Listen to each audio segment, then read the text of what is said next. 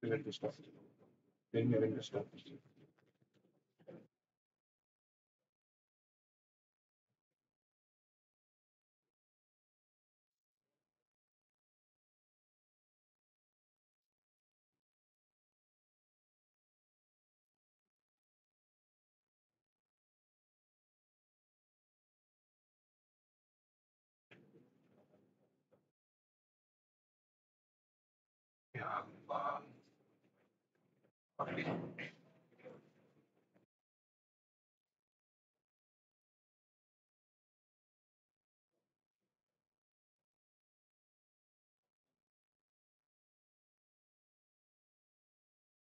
Allah.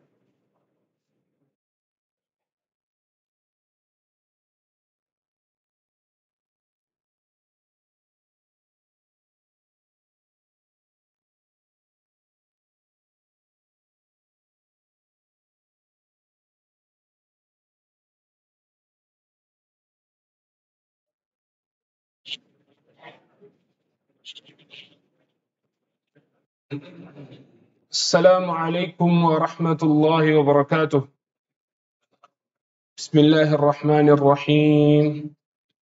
الحمد لله رب العالمين. والعاقبة للمتقين. والجنة للموحدين. ولا عدوان إلا على الظالمين. والصلاة والسلام على السراج المنير البشير النذير محمد صلى الله عليه وعلى آله وصحبه أجمعين أما بعد. فقد قال الله تبارك وتعالى في كلامه القديم والسابقون الأولون من المهاجرين والأنصار والذين اتبعوهم بإحسان رضي الله عنهم ورضوا عنه وأعد لهم جنات تجري تحتها الأنهار خالدين فيها أبدا. ذلك الفوز العظيم. وقال رسول الله صلى الله عليه وسلم خير الناس قرني ثم الذين يلونهم ثم الذين يلونهم Honorable ulama, respected elders, dearest brothers in Islam, we begin by praising Allah subhanahu wa ta'ala. He is the exalted, the glorious, the majestic, the one and the only, the one who turns night into day and day into night. We ask Allah subhanahu wa ta'ala to send the best of His blessings and salutations upon the best of His creation, our Master wasallam, bless each and every one of His Sahaba, to bless each and every one of us who lead a righteous life. Dearest brothers in Islam, dearest sisters watching at home, Alhamdulillah, we have embarked on this journey of learning and deriving lessons from the life of Umar radiallahu anhu. At the blink of an eye, the month of Ramadan has passed and we are here in our third session of this series. It is only Allah subhanahu wa ta'ala who has made us capable to come to the masjid while fasting at this precious, auspicious time and learn a few things about his deen. This is nothing that is from our capability, our power. It is only Allah subhanahu wa ta'ala's divine decree and Him choosing us that we have been able to attend this masjid and sit in this gathering of ilm. Alhamdulillah, all praises to Allah. Nevertheless, my dear brothers in Islam, sisters in Islam, we, Alhamdulillah, have completed three sessions. The first session, we discussed about the Sahaba radiallahu anhum, their virtues. Then we discussed how Umar radiallahu anhu's life was before Islam. And uh, we demystified a mystery, and that is that Umar radiallahu anhu buried his daughter alive, which is a blatant fabricated lie. A blatant fabricated lie. And in the second session last week, we discussed how Umar radiallahu anhu embraced Islam, how his embracing Islam was an important turning point for the Muslimin. It was in fact a victory for the Muslimin. The Muslimin could openly practice Islam. And we also discussed how Umar radiallahu anhu was the first person who made hijrah and he announced his hijrah. He went to the Kaaba, he spoke to the leaders, the chieftains of Quraysh, and he said, I am going to make hijrah.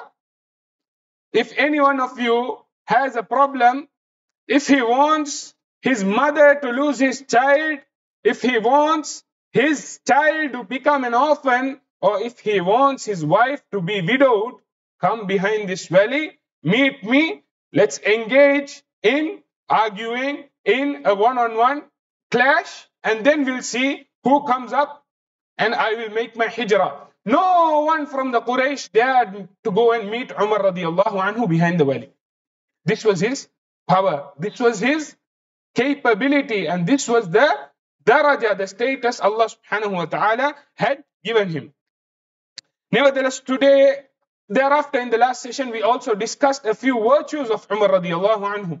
Out of those virtues, one was Nabi sallallahu alayhi wasallam very clearly he said to Umar radiallahu anhu, O Umar, if you were to tread a path, if you were to walk down one lane, shaitan would flee away from that lane.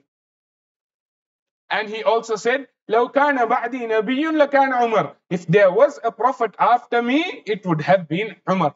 These were the few virtues, virtues we described last week. And today we'll delve into a few more virtues and then we'll see how Umar radiallahu anhu, he carried out himself, how he supported the Prophet sallallahu alaihi wasallam after embracing Islam. So generally, you see today's politicians as well, even maybe the president, they might have a few close ministers, close allies. Nabi sallallahu alayhi wasallam, he says, ما من نبي إلا وله وزيران من أهل السماء. There is no prophet that has been sent by Allah except that he has appointed for that prophet two representatives, two ministers, if you will, from the skies, referring to the angels. Who are those two? Jibreel and Mikael alayhi salam. And Allah appoints two important representatives for that prophet in the world as well. Who are the two representatives of the Prophet sallallahu alayhi wasallam in the dunya? Umar radiallahu anhu and before him Abu Bakr radiallahu anhu and Umar radiallahu anhu. This is the Prophet sallallahu alayhi wasallam saying this. And the Prophet sallallahu alayhi wasallam likens Umar radiallahu anhu to the stars in the sky. Certain stars, they are clearly visible. Certain other stars, they are not that very clearly visible. Status in the sky. This is his rank. And um, Generally, when there was a gathering, the Prophet ﷺ would be focused on his mission, on proclaiming and propagating his message. So he would not smile at anyone unnecessarily. But when Umar and Abu, the Prophet ﷺ would smile at them and they would smile at him. And one day, the Prophet ﷺ, he came to the masjid Abu Bakr radiallahu anhu was on his right, Umar radiallahu anhu was on his left. The Prophet sallallahu alayhi wasallam is leaning his hands, he's resting in his hands, the right hand on Abu Bakr radiallahu anhu, the left hand on Umar radiallahu anhu. And he proclaims to the Sahaba, Oh my Sahaba, this is how we will be resurrected on the day of Qiyamah. On the day of Qiyamah, everyone will be running here and there, looking to increase their deeds, looking to somehow peep into Jannah. Whilst the Prophet ﷺ will be resurrected along with Abu Bakr radiallahu anhu on his right and Umar radiallahu anhu on his left. Then the Prophet ﷺ asks Jibril alayhi salam, O Jibril, describe to me the virtues of Umar radiallahu anhu. Describe to me the virtues. Who is asking this? The Prophet the greatest person to walk on the earth. He's asking whom? The greatest angel, Oh Jibreel, explain to me.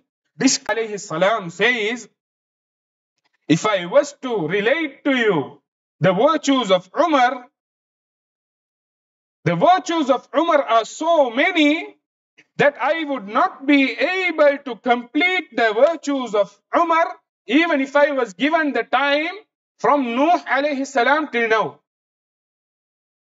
Adam alayhi salam, Nuh alayhi salam, the second prophet. Over 900,000 years ago, 900 to 1000 years ago, Nuh alayhi salam might have lived.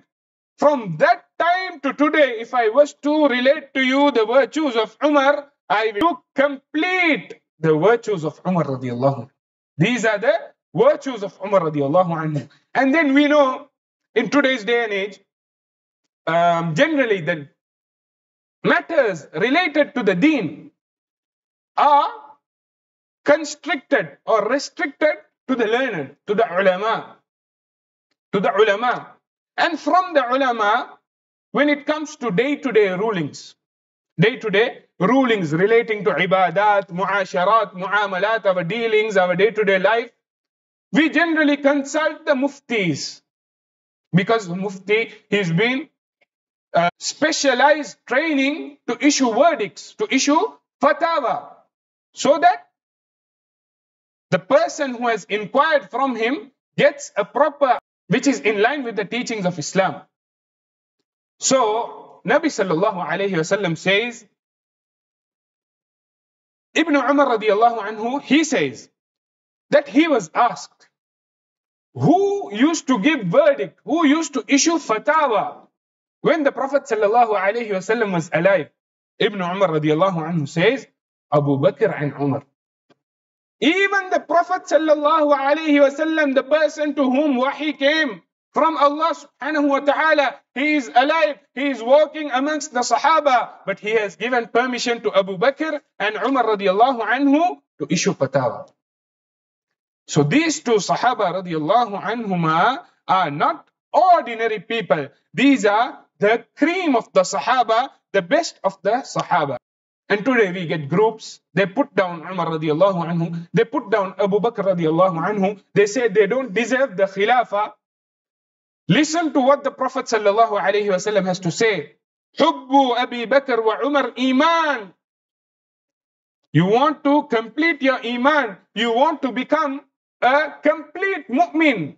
What do you need to do? Yes, you need to testify that there is no God but Allah and that the Prophet sallallahu wasallam is his messenger Along with that, you need to have love for Abu Bakr radiallahu anhu and Umar. Why? The Prophet sallallahu wasallam said, Abu Bakr wa Umar iman. Loving Abu Bakr and Umar is iman.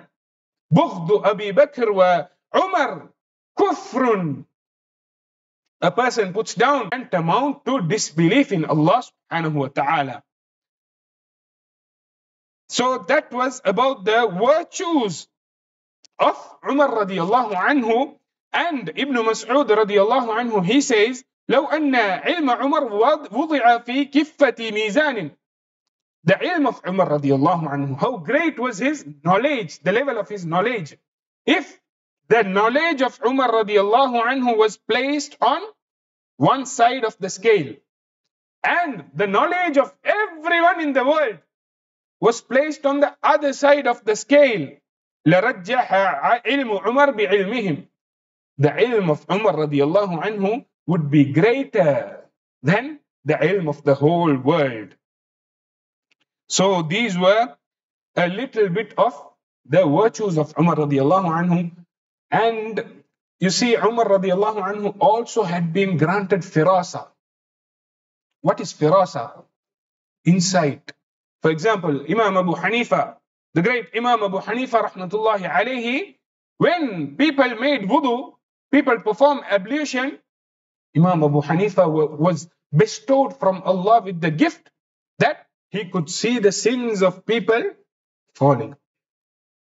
For example, if I was to make wudu, if I was to perform wudu, and Imam Abu Hanifa was here, he would see my sins falling away. Why? The Prophet ﷺ said, each wudu is a purification from the sins. So similarly, Umar radiallahu anhu also had been granted the ilm of Kash, ilm of Firasa. He had sent an army to fight a certain group. When they were about to be defeated, he makes an ishara from the mimbar. And tables turn, events turn, a turn of events takes place. And the Muslim army emerges victorious. Nevertheless, my dear brothers in Islam, these were the virtues of Umar radiallahu anhu. And from the greatest and grandest of his virtues is that Umar radiallahu anhu was given hikmah from Allah subhanahu wa ta'ala and knowledge from Allah subhanahu wa ta'ala in a way that the Prophet sallallahu alayhi wasallam would come, he would seek counsel of the Sahaba, Ya Sahaba, this issue has come to us, what do you think? What is your opinion? Now Umar radiallahu anhu would give an opinion. Sometimes the Prophet wasallam would even go ahead and take the other opinion. But Allah subhanahu wa ta'ala would reveal down ayahs Ya Rasulullah, Umar radiallahu anhu's opinion is the right way to go forward.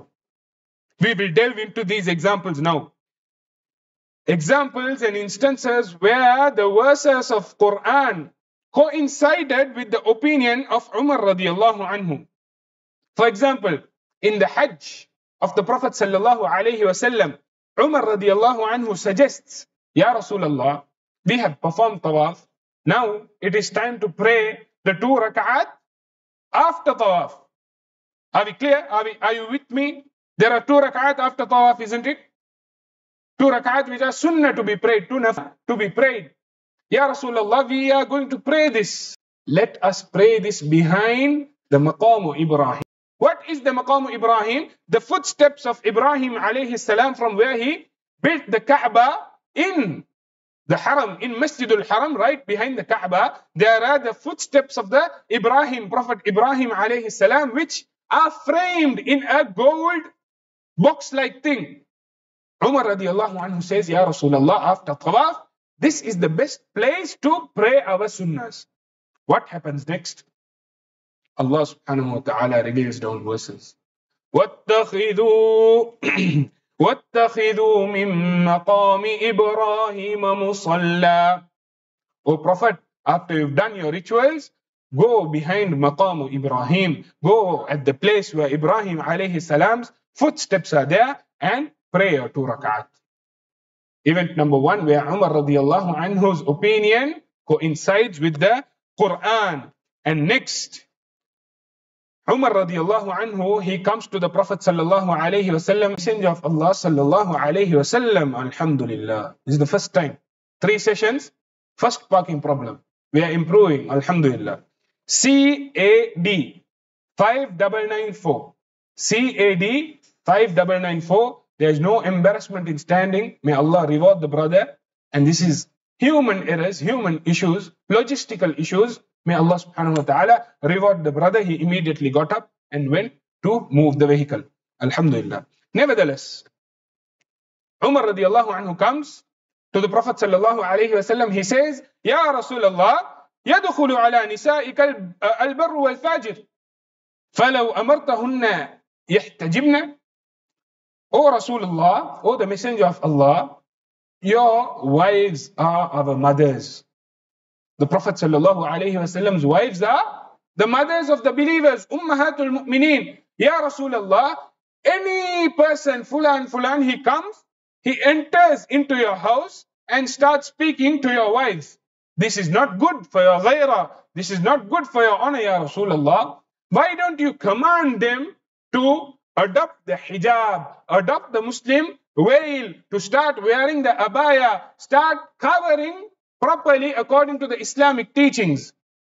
Now the Prophet wasallam, he is waiting for revelation. Umar has suggested this. Allah subhanahu wa ta'ala immediately reveals قُلْ لِلْمُؤْمِنِينَ يَغُضُّوا مِنْ أَبْصَارِهِمْ وَيَحْفَظُوا فُرُوجَهُمْ Allah does not start with the women. Yes, that is the main issue being addressed here, the hijab of the women. But before addressing that issue, Allah subhanahu wa ta'ala says, Oh, the messenger of Allah sallallahu alayhi wa sallam, proclaim to the believers, أي يغضوا قل للمؤمنين يغضوا من أبصارهم Tell them to lower their gaze. To lower their gaze. وَيَحْفَظُوا فُرُوجَهُمْ And to protect their private parts. The Prophet ﷺ in a hadith, he says, من يضمن لي ما بين لحييه وما بين فخذيه أضمن له الجنة. The person who guarantees for me that he will guarantee, he will control what is between his two jaws and what is between his two thighs, referring to the private parts, I guarantee for him Jannah. I guarantee for him Jannah. So, Allah subhanahu wa ta'ala also in this verse commands the Muslimin, lower your gaze. There is a cause of fitna here. There is a lady who might be attractive passing from here. Don't stare like you are looking at the wonder of this world. No, lower your gaze immediately. Lower your gaze immediately. Don't keep staring. This is the teaching of the Prophet wasallam, and then he addresses the females. Whatever it may be, the environment you are living, it may it may be a non-Muslim country. We can go controlling each and every one how they dress, how their attire is. Given the rates at which the fitna is prevalent in today's times.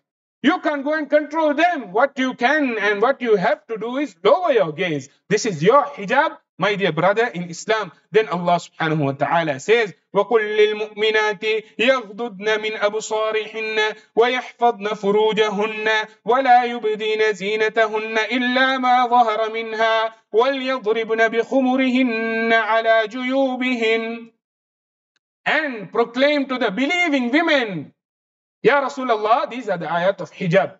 These are the ayat which made the abaya, the hijab, the proper Islamic covering compulsory. Allah subhanahu wa ta'ala says, and proclaim to the believing women, even for the women, lowering the gaze is important. That is why Allah mentions that before mentioning about the hijab. He says, Tell them to lower their gazes. It is not only for the women, for the men, even the women, they need to lower their gaze.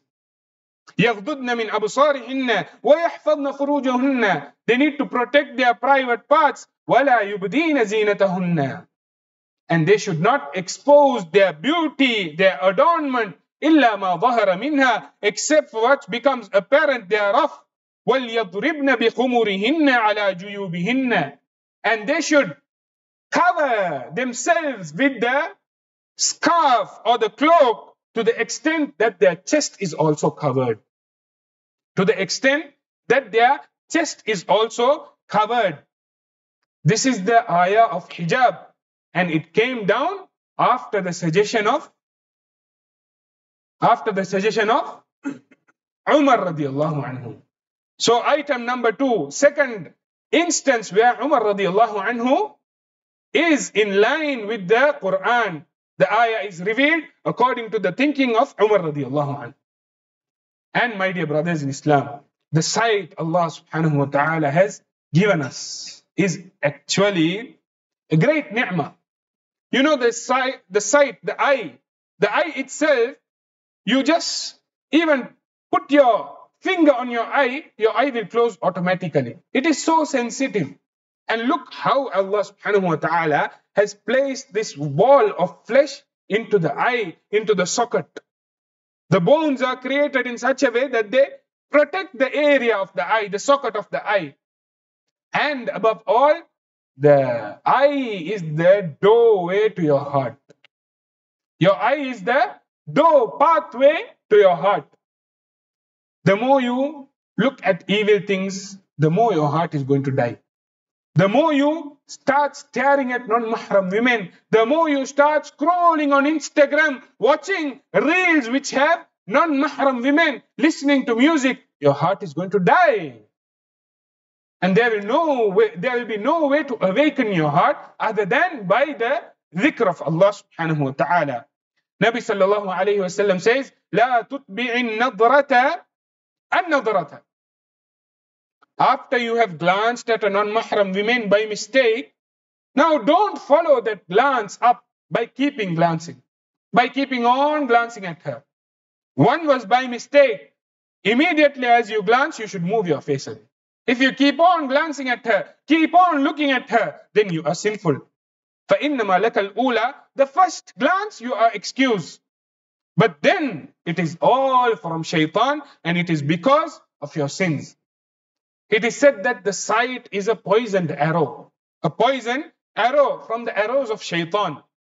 The one who starts looking at unnecessary things and doesn't lower his gaze, Iman will slowly go away, start going away from his heart. So protecting the eyes is extremely necessary. And my dear sisters listening, observing the rules of hijab is also extremely necessary. Hijab it doesn't mean you are covered from head to toe, but your figure, your shape, your body shape is clearly visible. No. Hijab does not mean you wear tight clothing. Hijab means you wear loose fitting clothing. And a person looking at you does not fall into the trap of the devil by looking at you. And your shape, the figure of your body is not visible through the hijab. That is hijab. Dear sisters in Islam, today we might be struggling with the hijab.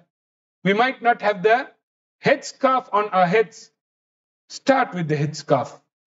Start with the headscarf. Allah subhanahu wa ta'ala will slowly help you to observe the proper hijab. May Allah subhanahu wa ta'ala make it easy for our sisters and help us rectify our intentions. Nevertheless, with regard to the sight, an interesting narration has been mentioned by Ibn Abbas radiallahu anhu. Ibn Abbas radiallahu, my dear brothers, please come forward and join the gathering. Inshallah, it will be a means of increase in barakah May Allah subhanahu wa ta'ala bless us all. Come forward and join the gathering, inshallah. The closer we are, the closer our hearts will be. If you need to lean on the wall, if you have a back issue, then you are excused, inshallah. Khair. Nevertheless, my dear brothers in Islam, Ibn Abbas radiallahu anhu, he narrates this incident. The Prophet sallallahu alayhi wasallam is on the camel. And who is riding with him on the camel? The brother of Abdullah ibn Abbas radiallahu anhu, Fadl ibn Abbas radiallahu anhu. The Prophet and him are riding. Now a lady suddenly comes and she starts asking the Prophet sallallahu alayhi wasallam, Ya Rasulullah, my father is too old, my father is too frail.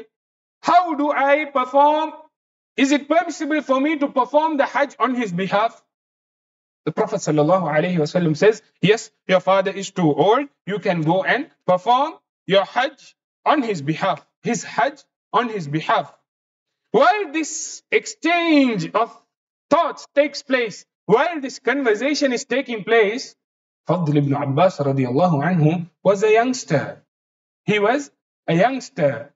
He starts looking at this lady. He starts glancing at this lady and he starts becoming infatuated by her. Now this lady also starts looking at him. There is exchange of glances from this side and from the other side, like what happens in today's times. The Sahaba radiallahu anhum were also human. Were also human. They too had feelings. Today, our youngsters go for tuition classes.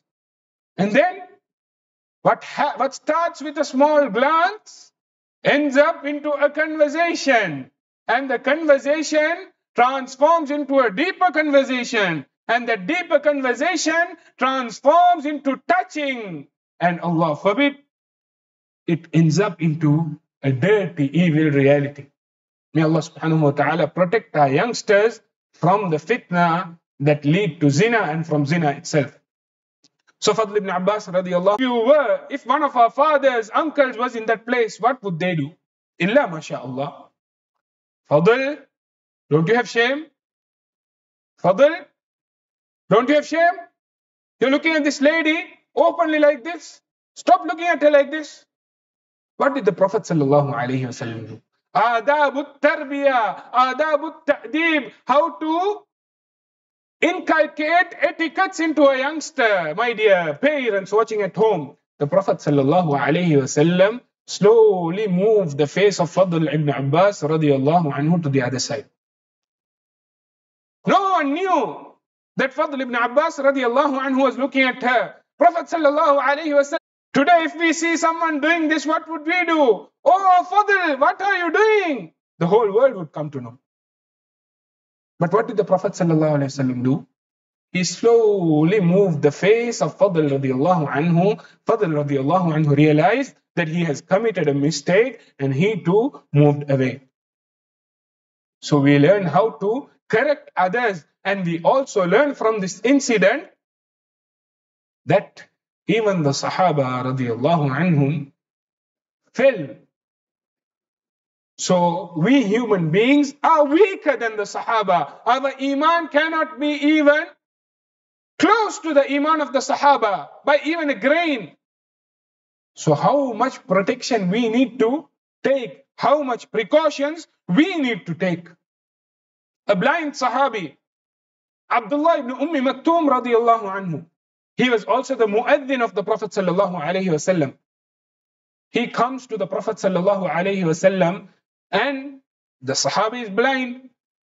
The wives of the Prophet sallallahu if I'm not mistaken, it was Ummu Salama radiallahu anha. She and another wife of the Prophet sallallahu they do not observe hijab. They say he's a blind Sahabi. It's, it's all right. No worries. The Prophet sallallahu immediately says, ihtajiba, Go don your hijab. They asked the Prophet sallallahu Ya Rasulullah, but he's blind.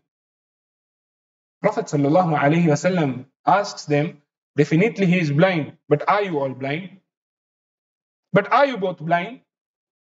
But this hadith shows that even in the presence of the blind Sahabi, the Prophet wasallam had that protective feeling for his wives, which is lacking today which is lacking today. Today, Alhamdulillah, the brother comes, prays, fasts, goes in the path of Allah. Alhamdulillah, he is always engaged in the dhikr of Allah. Go to his house. His son is engaged in listening to music, maybe even substance abuse. His wife, the women of his household, do not observe hijab. Where is the protective jealousy today? That protective feeling where the man should be protective for his women.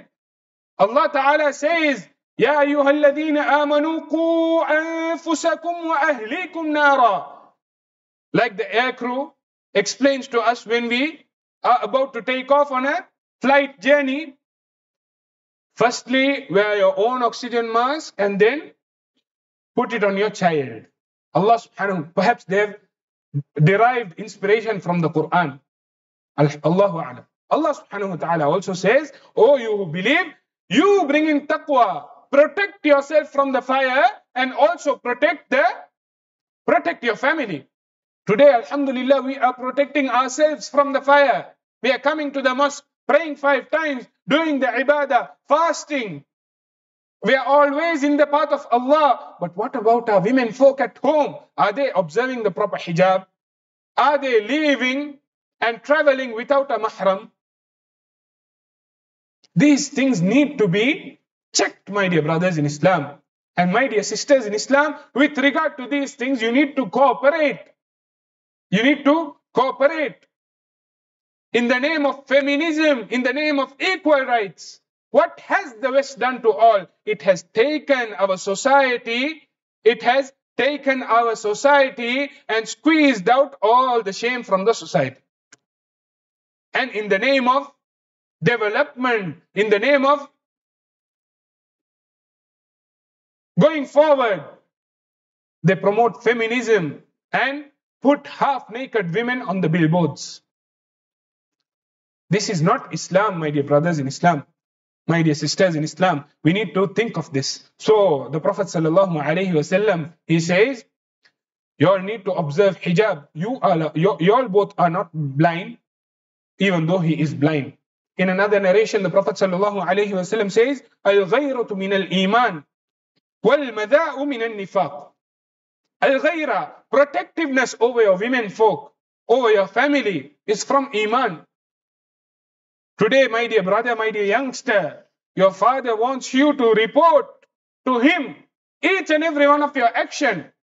know that your father is filled with iman. وَالْمَذَاءُ مِنَ النِّفَاقِ If your father was carefree, وَالْمَذَاءُ مَذَا refers to inviting women, inviting men, and allowing them to freely mix. Today, in the name of iftar events, what happens? Men and women mix freely, enjoy themselves. This is from nifaq, from hypocrisy. Alhamdulillah, we will worship the month of Ramadan, and then when Eid comes, back to our old habits, mixing freely with the women. Some people think the women in their house, all of them are mahrams. In people living in extended families, your brother's wife is not mahram to you. You should not be freely engaging with her. If I'm not mistaken, the Prophet ﷺ even has mentioned a sihrun nar, being freely mixing and intermingling with the in-laws who are not mahram will lead to entry into Jahannam. Will lead to entry into Jahannam. Nevertheless, this is not our discussion for today. We are discussing instances where Umar radiallahu anhu gave an opinion and ayat of the Quran came down confirming the opinion of Umar radiallahu anhu. Number one was anyone from the audience. Number one was Ah, uh, we are asleep. Yes. Maqam Ibrahim, mashallah. Number two, hijab. Very good. Now comes number three. Scholars say there are almost 21 instances, 21 instances where Umar radiallahu anhu and the Quran coincided. Number three, the Prophet sallallahu alaihi wasallam, as we all know, he had multiple wives. He would go to their house and visit them. One such day after Asr Salah, the Prophet wasallam goes to the house of Zainab radiallahu anhu. He goes there, he spends a little extra time than usual over there. And he also eats a little bit of honey at the house of Zainab radiallahu anha. The other wives, you know, co-wife, jealousy, envy, they are a little disturbed. Namely, Aisha radiallahu anha, the daughter of Abu Bakr radiallahu anhu, and Hafsa radiallahu anha, the daughter of Umar radiallahu anhu. They are a little disturbed with the other wives they plan. When the Prophet sallallahu alayhi wasallam comes, he has spent more time at Zainab radiallahu anha's house. When he comes, what we will do is, we will say that there is an odor coming from his mouth. We will tell him that there is a evil, bad, unpleasant odor coming, emitting from his mouth. Now the Prophet wasallam comes. They ask the Prophet wasallam, Ya Rasulullah, what is this unpleasant odor coming from your mouth? Have you eaten maghafir? Maghafir was an olden day herb, a herb. Those who are into Ayurveda and all would know the Ayurveda medicine is effective, but to consume that and um, use that is a task on its own. The stench it gives. So a herb. They asked the Prophet ﷺ, Ya Rasulullah, did you eat maghafir, a herb which has an unpleasant smell? Prophet ﷺ says, No, I haven't eaten maghafir. The Prophet ﷺ even would stay away from onions and garlic. Why? He did not want to have that unpleasant odor in his mouth because he would be frequently conversing with the angels. So, as to not displease the angels and chase them away, the Prophet ﷺ would not even consume garlic and onion. Now the Prophet ﷺ explains to them, no, I haven't had maghafir, but I had a little bit of honey. I had a little bit of honey. Now the wives, they say, Ya Rasulullah, perhaps the honey you had was extracted from a honeybee who went and sucked onto the herb of maghafir of this unpleasant plant and drank its nectar. How's that plan? This is what women can do when they are disturbed. Don't disturb your women. Khair. What do the wives say? Perhaps, Ya Rasulullah, you have drunk, you have consumed honey from a that is extracted from a honeybee which had sucked onto the nectar of this maghafir herb. That is why there is this foul smell emitting from your mouth. What happens next? The Prophet ﷺ, he is saddened. Why? Again, conversing with the malaika, angels, that link should not be disturbed. Prophet ﷺ says, I am promising now that from today I am not going to consume honey anymore. Fair enough. Why? Because he thought the honey gave that unpleasant odor. But he also requested the other wives, Aisha radiallahu anha and Hafsa radiallahu anha, please don't tell this to Zainab. Because Zainab gave me the honey. If you go and tell her that this foul smell was coming from my mouth because of the honey that I consumed at her place, she is going to be saddened. Don't tell her. Keep this as a secret. But eventually, the secret got leaked. The secret got leaked. And it went to Zainab radiallahu anha. Prophet sallallahu alayhi wasallam is saddened. Umar radiallahu anhu gets to know this. He gets to know this. His daughter also is involved. He goes to the Ummahatul Mu'mineen, the wives of the prophets. He says, Please stop hurting my Nabi. Please stop hurting my Nabi immediately.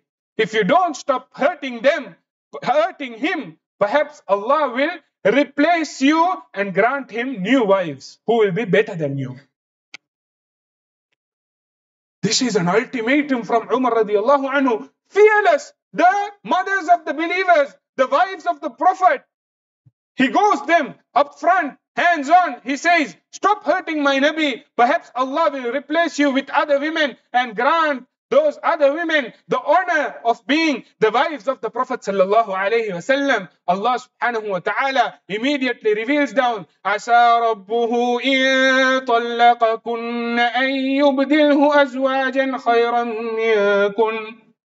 Perhaps your Lord will replace for you better spouses and grant you better wives who will be better than them after you divorce them after you divorce them. Now the wives are taken aback and they stop what they were doing. So here also, what happens? Umar radiallahu anhu gives an opinion and ayat uh, are revealed which coincide with the opinion of Umar radiallahu anhu. Number three is done. Number four, at the Battle of Badr, what happened? There was this issue of what to do with the captives. Nabi sallallahu alayhi wasallam asks mashwara from the Sahaba. Abu Bakr radiallahu anhu gives another mashwara. Umar radiallahu anhu has another mashwara. Prophet sallallahu alayhi wasallam being the kind-hearted person he was, he didn't want to punish them. So he goes with the mashwara of Abu Bakr radiallahu anhu. Allah reveals the word, Ya Rasulullah, you should deal with them in the way Umar has suggested. Number four. Number five, Allah subhanahu wa ta'ala reveals this verse. وَلَقَدْ خَلَقْنَا الْإِنسَانَ مِنْ سُلَالَةٍ مِنْ طِينٍ How has man been created? Today man boasts. He is at the peak of technology. He is at the peak of technology. He has done all developments possible. But Allah subhanahu wa ta'ala reminds you and me. You might be at the forefront in terms of science, technology, business economics. But know that we have created you from extracted clay. Clay, mud. Immediately after listening to this verse, Umar radiallahu anhu says, فَتَبَارَكَ اللَّهُ أَحْسَنُ الْخَالِقِينَ Glory be to Allah. Glory be to Allah. He is the most perfect of creators. He is the most perfect of creators. Later on, two verses pass, Allah subhanahu wa ta'ala himself reveals the statement of Umar radiallahu anhu as a verse in the Quran. We are created with clay and our reality is we are going back to clay. Today we boast we have the best watch on our wrist. We drive the best car. But are you going to take this car and this watch into your grave? No, it will be you, your iman, your amal. So work on your iman and your a'mal. Another instance, the sixth instance. There are 21 instances, but we will restrict it to seven. The sixth instance, the Prophet wasallam, who knows who was the leader of the munafiqeen? Leader of the munafiqeen, anyone knows the name? Ra'isul munafiqeen? Yes, my dear brother. Abu Sufyan radiallahu anhu, he was a. No, no, leader of the munafiqeen, leader of the hypocrites. Abdullah ibn Ubay ibn Salul, very good. Ra'isul munafiqeen. He acted like he's a Muslim, but deep down he was a kafir. He even accused our mother, Aisha radiallahu anha, of evil things. But Allah revealed verses for her also defending Aisha radiallahu anha. So Abdullah ibn Ubay ibn Salul, he has died. He is dead. People from his clan come to the Prophet sallallahu alaihi wasallam and they say, Ya Rasulullah, why don't you come and lead his janazah? Why don't you come and lead his janazah? Prophet wasallam again, the kind-hearted, the man whose heart was filled with mercy, he obliges. Why? If I lead his janazah, probably different um, groups of munafiqeen will be attracted to Islam and they will embrace Islam. He's about to lead his janazah. He is standing at the chest of Abdullah ibn Ubay. Umar radiallahu anhu comes and he says, Ya Rasulullah, you are going to pray the janazah prayer on the enemy of Allah, on this enemy of Allah. Nabi Sallallahu is now waiting for wahi. He's waiting for revelation from whom? From Allah subhanahu wa ta'ala. Allah subhanahu wa ta'ala reveals verses. ولا تصل على أحد منهم مات أبدا Don't pray upon these munafiqeen when they die. Any of the munafiqeen. Again, the opinion of Umar radiallahu anhu and the ayat of the Quran coincide. This is not any normal feat. The Quran, the verses, the words of Allah subhanahu wa ta'ala, they are coinciding with the opinion of Umar radiallahu anhu. The final uh, opinion which coincided with the ayat of the Quran was the prohibition of alcohol. The Sahab Umar radiallahu anhu himself, he was an alcoholic in his own words. He would drink, he would go, like we discussed last uh, week, the hadith which mentions he went for looking, he went looking for his clique, his friends, who would sit like our brothers sit at the fast food joints and they would drink. Sadly, his friends are not there. Then he goes to the wine cellar, the best wine cellar in Makkah. He goes there and looks. He is out of wine. There are no stocks of wine. Then he goes and makes tawaf. Umar radiallahu anhu. But after he embraced Islam, he realized wine, alcohol is something evil. So he asks Allah, Ya Allah, Allahumma bayyin lana fil khamri bayanan shafiya. Oh Allah, time is up. We have drunk a lot of alcohol. We wasted a lot of our lives. Now give us a clear explanation about alcohol. Immediately Allah reveals verses prohibiting alcohol. Prohibiting alcohol from that time till this time. The alcohol has been prohibited for Muslims. So what were these we discussed? These were instances where Umar radiallahu anhu and the verses of the Quran coincided, were the same. Now, one of the greatest virtues of Umar radiallahu anhu is that he had thorough love for Allah's Messenger sallallahu alayhi wasallam and after him for Abu Bakr radiallahu anhu. They were friends, the best of friends. Listen to this incident, a very emotional and interesting incident. Abu Darda radiallahu anhu, he narrates that once there was some issue that took place between Abu Bakr and Umar. They're friends. Friends argue. Today there will be a dispute. Tomorrow they will be shaking their hands. This is how our relationship should be with our friends.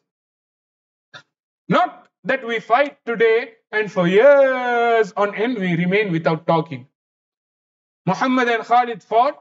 Muhammad will say, He only hurt me. I didn't hurt him, no? Let him come and speak. Khalid is thinking, Muhammad only hurt me. I didn't hurt him. Let Muhammad come and speak. Ego, inflated egos. But the Sahaba didn't have inflated egos. They had deflated egos. They did everything for the sake of Allah. So Abu Bakr radiallahu anhu and Umar radiallahu anhu have a small argument. Now Abu Bakr radiallahu anhu, out of, in the heat of the moment, he made a statement. He made a statement which made Umar radiallahu anhu angry. Our youngsters at the back, they can come forward. Please come forward.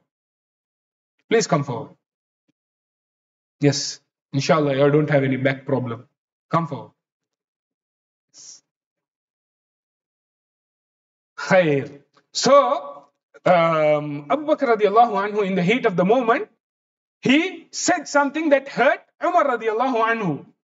Now Umar radiallahu anhu is hurt.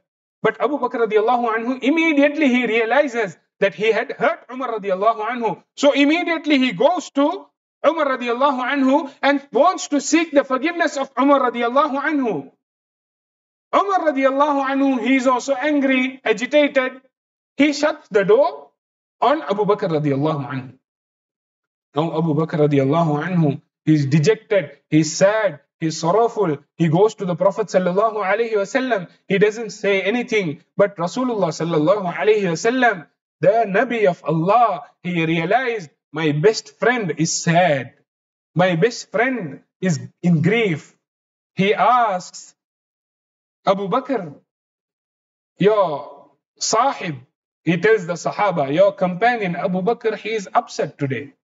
He is upset then Abu Bakr radiallahu anhu explains, Ya Rasulullah, myself and Umar had an argument. I hastened in speech. I hurt him and then I went to him. I sought his forgiveness, but he didn't forgive me, Ya Rasulullah.